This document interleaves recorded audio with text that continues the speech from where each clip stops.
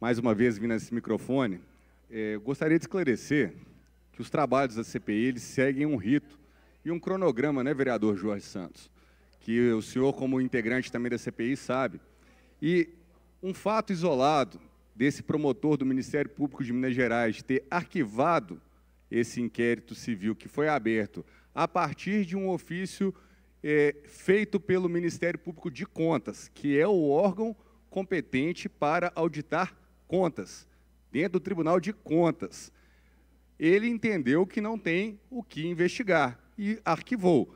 Mas arquivou o quê? Apenas um capítulo, que era a última licitação que tentaram fazer. Essa licitação que ia sendo feita conforme as outras foram feitas, sem uma devida concorrência. Então, a gente está muito tranquilo na CPI que esse arquivamento foi pontual, mas a gente segue porque a grande pergunta que todo Belo Horizontino quer saber é se é compatível o volume de dinheiro que já foi gasto com os resultados que a gente tem.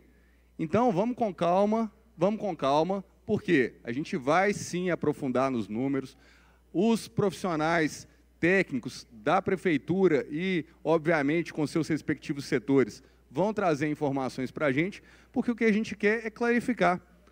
Obviamente que a, pre a, prefeitura, se ela parar de ter ações na lagoa, ela vai piorar muito. Não é isso que o Belo Horizontino quer. O que o Belo Horizontino quer é transparência e efetividade do uso do recurso público. Se a gente ficar enxugando gelo, se a gente ficar primeiro sujando para depois limpar, nunca vamos chegar numa solução.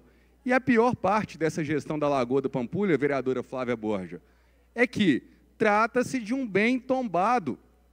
Ele foi tombado, protegido pelo patrimônio cultural na cidade, no Estado, no Brasil e depois reconhecido pelo Patrimônio Mundial da Unesco. Olha o que está acontecendo lá, gente. Temos uma enseada que está totalmente assoreada, que é ali em frente ao zoológico. Temos a enseada da BB, que também já tem um, uma estrada no meio do caminho lá, vereador Jorge Santos, que está preparando, na verdade, mais um braço de assoreamento. E aí vai, sem contar nos esgotos, esgotos que ainda caem na lagoa e a quantidade de lixo. Sabemos que há um esforço, porque isso é de interesse de todos, certamente é interesse do prefeito também, e é interesse de todos nós vereadores. O que nós não vamos fazer é sair dessa CPI com conclusões rasas. A gente precisa de enxergar realmente o que, que deve ser feito e, se tiver alguma inconformidade, ser apontada. Obrigado, presidente.